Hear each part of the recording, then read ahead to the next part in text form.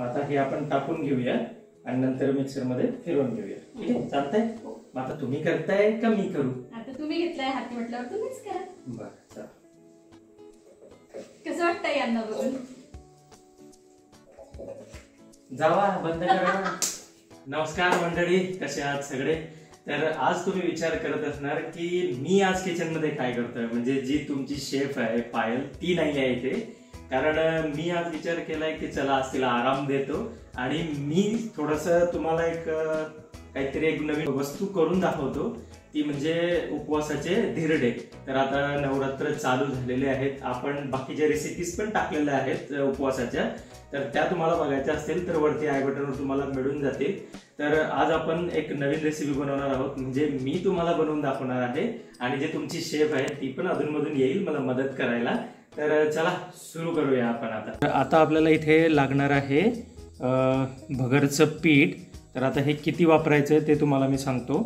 तर यामध्ये आपण जवळजवळ चार ते पाच चमचे भगरचं पीठ टाकून घेऊया. आता तुम्हाला जेवढे धिरडे बनवायचे आहेत तेवढे तुम्ही बनवू शकता. मला आता दोन तीन आम्हाला पुरेसे झाले दोन लोकांना. आता यामध्ये आपण टाकणार आहोत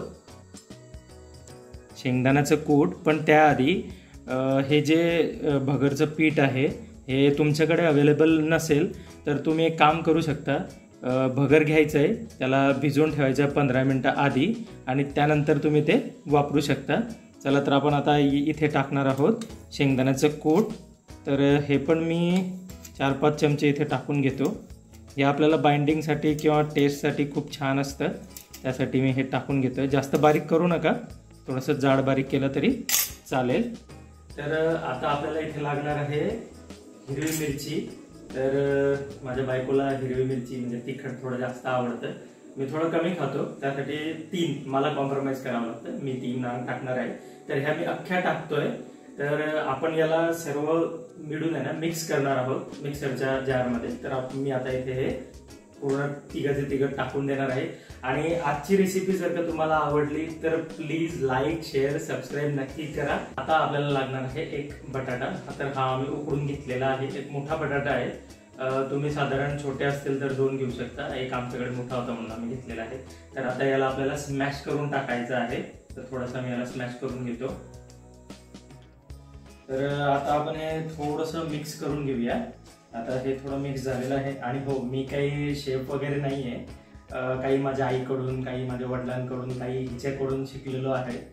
तर तेच थोडंसं मी करून दाखवतोय. बाकी वगैरे काही नाही आहे आणि बॅचलर होतो तेव्हा पण असं थोडं थोडं कंटाळा यायचा. पण पोटाला लागतं म्हणून करावं तर लागतंच ना. आणि हो मला बघून तुम्हाला छान वाटत असेल आज ह्या रेसिपीमध्ये किंवा या व्हिडिओमध्ये तर कमेंट करून नक्की सांगा. आणि नवीन कोणी बघणार असेल तर सबस्क्राईब पण नक्की करा. चला तर आपण आता यामध्ये जिरं आणि मीठ टाकून घेऊया. तर यामध्ये आपण टाकूया थोडस जिरं. अरे बापरे चक्क तुम्ही रेसिपी बनवताय आज अरे वा जसं काय तुला माहितीच नाही कॅमेरा कोणी पकडलेला होता ओके मग जिरं उपवासाला चालतंय का? हा मग आपण तर खातोच ना. हा मग. आता अं, हो अं, कुणाला जिरं चालतं कुणाला चालत नाही कोणी उपवासाला खातं कोणी खात नाही आम्ही खातो बुवा. तुम्हाला खायचं असेल तर तुम्ही पण टाकू शकता. जास्त टाकायचं नाहीये फक्त एक चमचा. जास्त नाही टाकायचं आणि आता यामध्ये टाकायचं आपल्याला थोडस मीठ. मीठ. चवीपुरतं आपण थोडस यामध्ये टाकून घेऊया. आणि तुम्ही जर का नॉर्मल मीठ खात नसाल तर तुम्ही काळं मीठ सुद्धा वापरू शकता. हो ना हो? हा वापरू शकता. आता हिने सांगितलंय म्हटल्यावर वापरावंच लागेल. मला तरी. तुमचं मला माहीत नाही. असं आहे का? चला आता तर याचं काय करायचंय? आता हे आपल्याला मिक्सरमध्ये टाकायचंय. मिक्सरच्या भांड्यामध्ये टाकायचंय. हं. याला छान असं मिक्स करून घ्यायचंय. हं. आणि मग याच्यानंतर याच्यामध्ये पाणी टाकायचंय. थोडंफार थोडंफार. हा बनवायचं म्हटलं थोडा पा- म्हणजे थोडंफार तरी पाणी टाकावंच लागेल. ऍक्च्युली काय करायचंय आधी हे जे मिश्रण आपण तयार करून घेतलेलं आहे जारमध्ये टाकायचंय आणि याला छान अशी आधी बारीक करून घ्यायचंय. आणि मग जर का थोडं पाणी लागलं तर आपण यामध्ये ऍड करूया. ठीक आहे? मग आता हे आपण टाकून घेऊया. आणि नंतर मिक्सरमध्ये फिरवून घेऊया. ठीक आहे? चालतंय? हो. आता तुम्ही करताय का मी करू? आता तुम्ही घेतलाय हाती म्हटल्यावर तुम्हीच करा. बरं चला. कसं वाटतंय यांना बघून? तर आता हे छान असं मी बारीक करून घेतलेलं आहे मिक्सरला लावून. आणि हो यामध्ये मी एक वाटी पाणी टाकलेलं आहे आणि हे बारीक करून घेतलेलं आहे. चला तर आता आपण हे छान असं एका बाउलमध्ये काढून घेऊया. तर बघा हे थोडंसं अजून घट्ट वाटतं आहे तर मी मिक्सरमध्ये जेव्हा हे बारीक केलं तेव्हा एक वाटी पाणी टाकून घेतलेलं होतं. आता आपण यामध्ये अगदी थोडंसं पाणी टाकूया. मग मी याची तुम्हाला कन्सिस्टन्सी दाखवतो की आपल्याला हे कसं करायचं आहे ते. तर बघा हे छान असं कन्सिस्टन्सी आहे याची. अशीच ठेवायची आहे तुम्हाला पण. चला तर मग वाट कशाला बघायची? आपण मस्त असे उपवासाचे धिरडे बनवायला घेऊया. चला. तर इथे मी आता तवा गरम करायला ठेवून दिलेला होता. तवा आता गरम झालेला आहे. पण आपल्याला ही सगळी प्रोसेस मीडियम फ्लेमवर करायची आहे.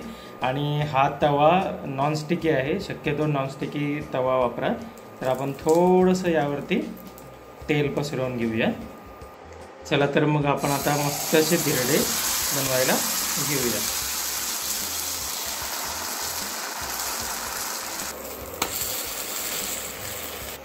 तर बघा या साईडने किती छान असा कलर आलेला आहे.